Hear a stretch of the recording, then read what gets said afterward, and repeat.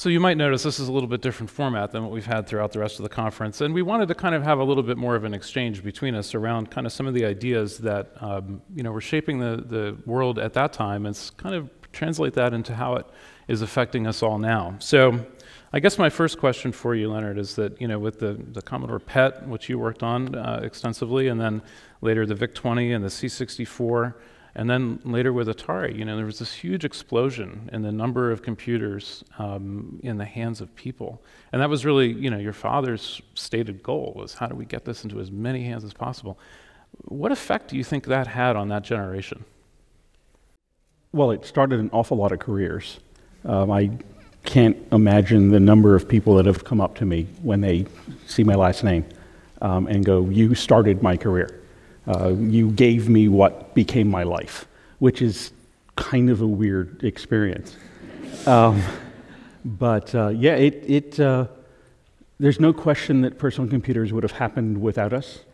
Uh, but I don't think there's any question that there would have been a lot fewer people with them uh, as early as there were. Right, right. And I guess, you know, for folks that don't know, I mean, one of the key developments was the creation of the 6502 microprocessor. And if you didn't know, the 6502 is what powered the Apple II, the Commodore 64, the Atari 8 bit computers, and a handful of others. Yeah, including the Nintendo Entertainment System. Right, exactly. So virtually everything at the time right. ran off of this one chip. And I guess the interesting thing, too, is that your father acquired the company that created the 6502, right? MOS Tech. So, uh, you know, that gave them, I guess, a tremendous edge in terms of being able to pump out these chips and get them to a tremendous number of people.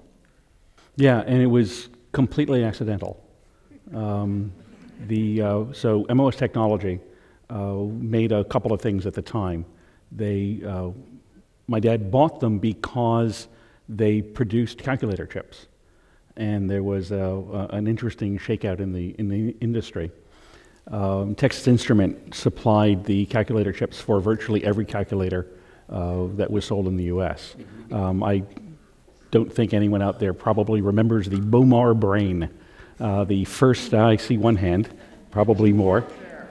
Uh, used to work there. Excellent. The, uh, um, so, an incredibly successful line of, of calculators. And then uh, Texas Instrument changed the pricing, drove Bomar almost instantly out of business. Mm. Um, my father, who was a Holocaust survivor, uh, tells the story, or told the story, that um, he wasn't so ready to die yet. Uh, so he found a company that made uh, calculator chips and bought it. And they also had this microprocessor. And the guy that designed that wanted to make personal computers. So yeah, what a you know a total coincidence in a meeting of the mind. So that would have been Chuck Peddle, I guess. Yeah. Yeah. So you know here you have this processor that, uh, for its day, was an incredibly advanced processor compared to say the Z80, and you know in terms of like the amount of raw power sort of packed into a small die, I guess. The you know. the uh, the power per dollar right. is where it absolutely excelled. And they were selling them for what, like 20 $25, something like that, uh, yeah. to like hobbyists and stuff. And so this was incredible. The notion that you could suddenly get a computer chip that would, you know, enable you to build effectively a whole home computer from mostly one chip. It's, right. it's pretty incredible. So that was what inspired Steve Wozniak and, um, you know, the other creators of these 6502-based machines to, you know, really see that there was a possibility of getting it into the hands of, of a lot of people. Yeah. So tell me, you know, you were trained in astrophysics, but also have this incredible affinity for computing and computers. And, you know, you seem also to be really driven to, you know, educate people about science and critical thinking. How do you see all those things as interrelated? Um, well, computers are the, the tools of science. Uh, it's really hard to, uh, to get a degree in science these days, or even back in the, in the ancient past when I did uh, without doing a lot of computer work. Uh, so those are, are intimately connected. And then, um, as Carl Sagan said, we have a culture that is exquisitely based on science and technology, and a populace that knows almost nothing about science and technology. And um, I think he said something along the lines of we might survive that way for a while, but the combustible mixture of power and ignorance will blow up in our faces. Yeah, I think that's kind of a description of 2016. Uh, you know, uh, it, it, it, may be. Uh, I'm not sure if that was what he had in mind, but we're, we're getting there. If not, we're, we're getting there. um, so, a question that, that we had discussed uh, earlier, and I think the audience would like to hear about, is the idea of should everyone learn to code? That certainly is something that we keep hearing right now. Is learn to code, learn to code. Um, what do you think? That's an easy one. Um, I don't know. Uh, it's the. I think the world would be an enormously better place if everyone had the um, humbling psychological experience of trying to make a computer do exactly what the heck you want it to do, because they're incredibly literal, and unless you have very carefully thought things through, it's not going to work. Um, and that's a, it's a wonderful intellectual exercise, and, and it would be good if, if people had that. Um, but I don't know if that's possible. I don't know what percentage of people will actually get there. Um, at some level, I think it should be done like art and music education was used to be done. Uh, people didn't go to art class because they were going to become artists. They went because they were going to be uh, knowledgeable about what art was and why it was important and what art could do for culture. Uh, at some level, I think we should teach not only computers but math and science that way. Right. So people actually understand why math and science are beautiful right. and why they're useful, as opposed to how many loops in a block and tackle it takes to lift a certain number of pounds, uh, which isn't always that fun. Yeah, and uh, we were talking uh, too about the idea of appreciating beauty and the idea of like appreciating a beautiful mathematical proof and yeah. how that seems to be something that's lost on a big chunk of the culture. Yeah, I, at some level, I think it's because uh, the first introduction most people get to math um, is unavoidably in elementary school, and very few elementary school teachers are math experts. Right. And they don't feel the, uh, as uh, Bertrand Russell called it, the cold, austere beauty of mathematics. Right. So uh, they so themselves can't kind of convey it. The cold, austere beauty of mathematics is not a joke. Uh, it's, a, it's, a, it's a real thing. And it's a, I, I can't tell why you're laughing, but the, uh, um, but if you could, uh, I'm sure that as a, a, percentage of you that are nodding your head and going, yeah, it's really beautiful. Um, and there's another, almost certainly larger percentage going, what is he talking about?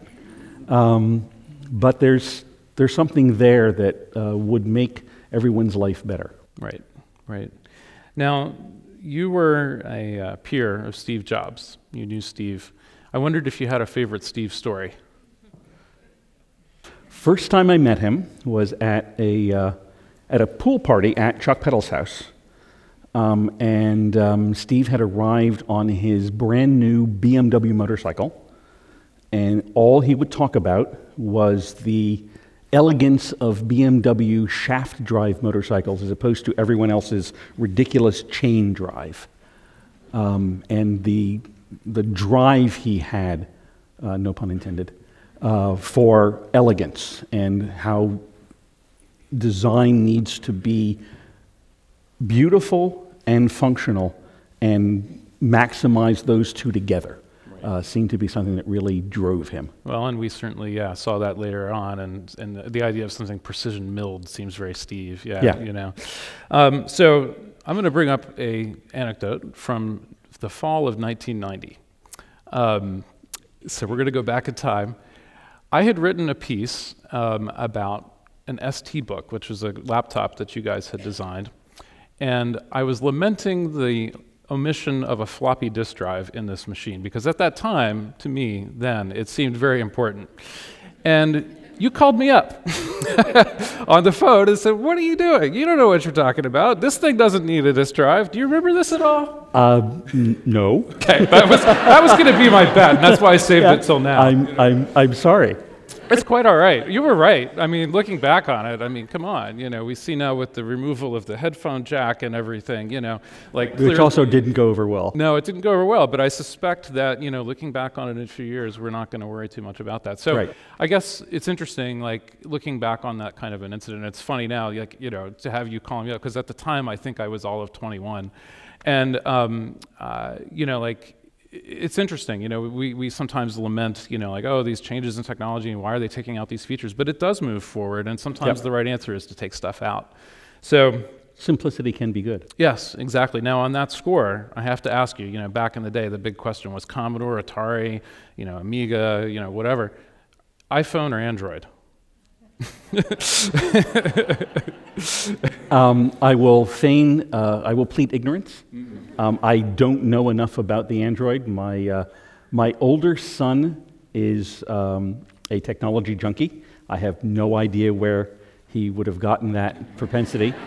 Um, but he has had an iPhone from maybe the first model as soon as they came out.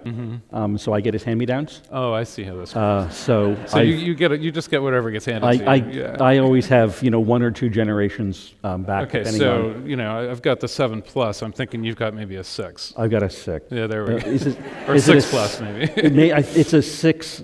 Yeah. yeah, there we go. Yeah. So, uh, same size. better but, yeah. camera though here. So yeah, It's but no, but note the no headphone jack. So you know. yeah, uh, but yeah. So I, I don't know enough about the Android. Uh, everything I, I know it says it's a they're great phones, but I I don't have any personal experience. Gotcha, gotcha. Yeah, I, it's for those that don't know. I started a computer sales company as a teenager, and I actually sold computers manufactured by uh, the Tramiel family for many years, um, and went on to you know be one of the larger Atari dealers in the United States in the early '90s.